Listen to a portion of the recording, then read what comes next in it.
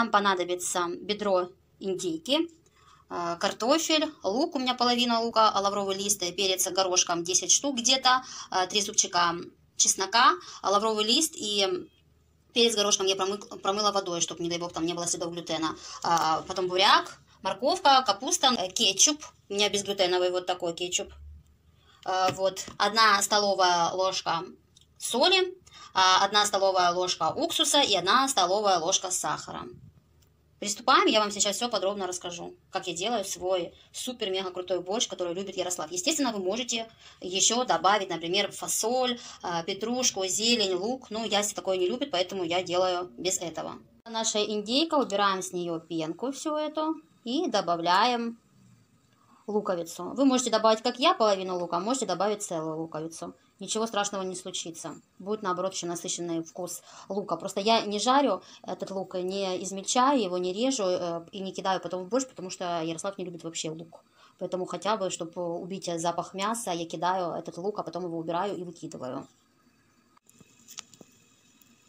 10 минут, как я добавила луковицу, теперь я забираю мясо отсюда, вытягиваю и добавляю картошку.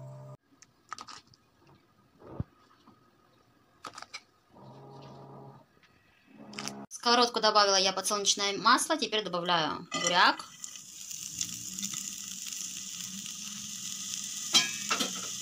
И начинаем все это дело прессовать, тушить. Теперь морковку. Перемешиваем хорошо. И дальше начинаем прессовать. И закрываем крышку. Минуты мы добавляем одну столовую ложку растительного масла. Перемешиваем все это. Уксус добавляем. Перемешиваем. Накрываем крышкой на 2 минуты. Прошло 2 минуты, добавляем соль. Перемешиваем.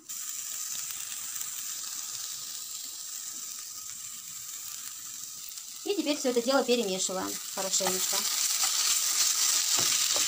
Естественно, чем больше кетчупа или томатной пасты, тем она будет более насыщенной, борщ ваш будет более красным цветом, будет вкуснее.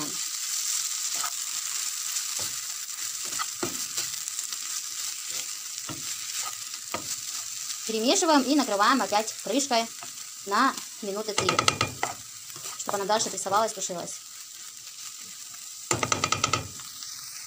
Тем временем наш бульон уже давно кипит. Я достаю луковицу, выкидываю ее. 100 мл э, бульона, вот в чашечку.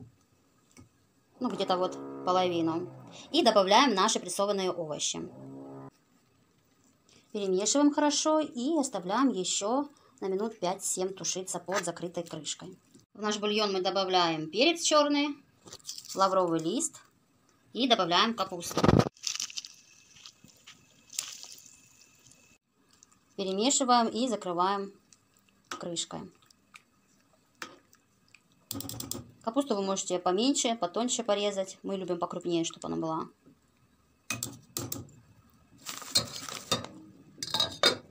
После того, как мы добавили бульон, прошло 7 минут у меня, и я выключаю наши овощи и накрываю крышкой.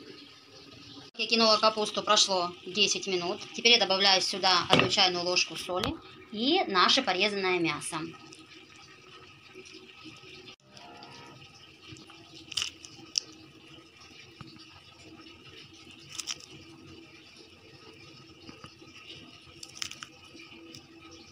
Хорошо перемешиваем это все и накрываем крышкой. Оставляем еще на минут 5.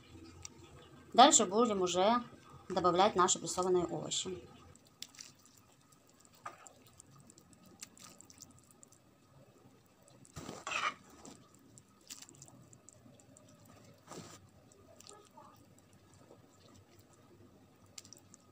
Запах стоит отменный просто, очень пахнет.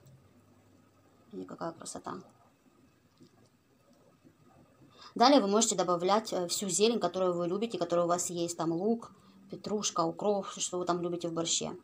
А, я буду сейчас добавлять, единственное, что у меня осталось, это чеснок.